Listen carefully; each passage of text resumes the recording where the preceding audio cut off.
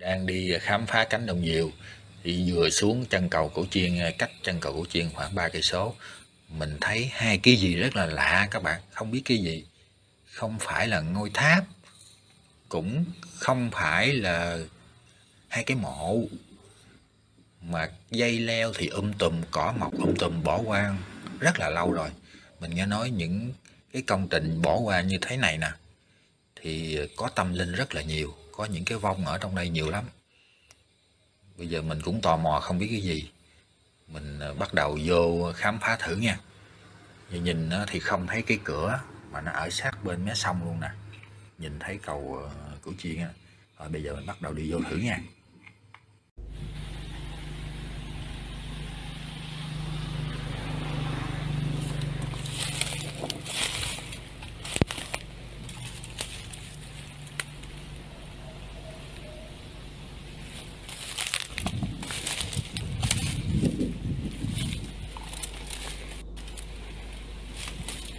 Hay không có cửa luôn nha mọi người.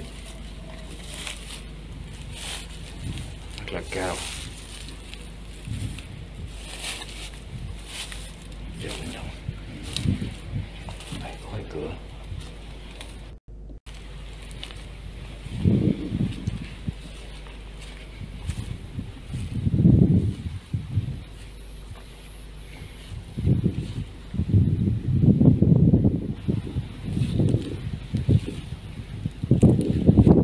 có lẽ mình không vào đâu mọi người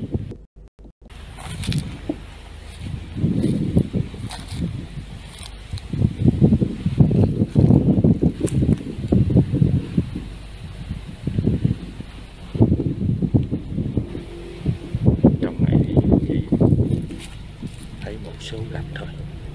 À, vậy là có lẽ là đây cái lò gạch